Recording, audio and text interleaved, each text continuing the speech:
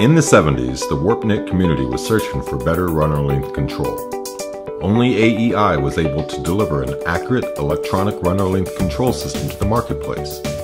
The AutoWarp became the standard let-off control system in the world. The AutoWarp design has progressed from discrete components to a modern computer with PID controls. The beam drives are state-of-the-art AC motors with position and velocity feedback. Closed-loop control system with feedback from the follower-arm rollers is the standard technique to control runners today.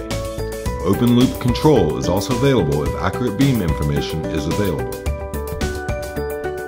The AutoWarp 4 uses sophisticated algorithms to measure the feedback information and deliver runner lengths that typically are plus or minus one-tenth of 1%. This is true for lycra runners as well as long runners in excess of 200 inches. The user interface is simple and intuitive. Critical information is entered and available for readout on a large touchscreen display. Displays are available for runner length, beam diameter, yards and turns,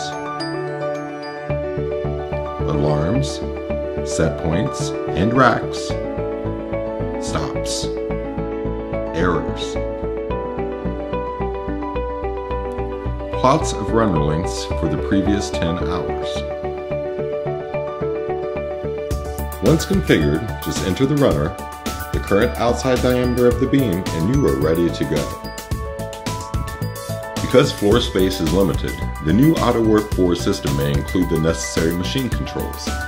Contactors and modules are available for main motor, jog mode, oil pump, oil cooler, blower, oil heater, start, stop, jog push buttons, temperature overload, brake, and stop motions. When an error occurs, the computer will activate a safety relay which prevents the machine from being energized. The AutoWarp 4 is an economical way to continue with machines that can no longer be used due to high repair costs. Call Appalachian for a quote and more information.